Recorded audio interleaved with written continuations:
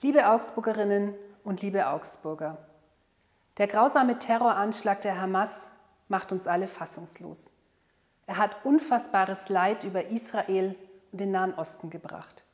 Die Stadt Augsburg und ich persönlich stehen fest an der Seite Israels. Neben den schrecklichen Bildern, die uns tagtäglich aus dem Kriegsgebiet erreichen, sorge ich mich vor allem um unser friedliches Zusammenleben hier in Augsburg. Ich weiß, dass der Konflikt viele Bürgerinnen und Bürger unserer Stadt beschäftigt. In unserer Tradition als Friedensstadt ist uns das friedvolle Miteinander hier in Augsburg das höchste Gut.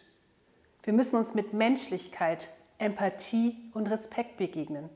Selbstverständlich muss sein, dass wir keine feindseligen Parolen verbreiten, dass wir Haltung zeigen für das Grundlegende, was uns alle ausmacht und eint, unsere Menschenrechte.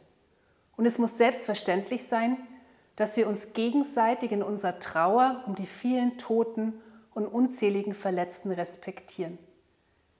Ich spüre in unserer Stadt zurzeit viele Emotionen. Wut, Angst, Trauer, Entsetzen und auch Ratlosigkeit. Wogegen ich mich wehre, ist Terror und Gewalt zu relativieren oder sogar zu glorifizieren. Wer das tut, kann sich nicht auf Meinungsfreiheit berufen.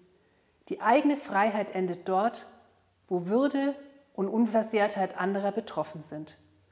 Deswegen appelliere ich an uns alle.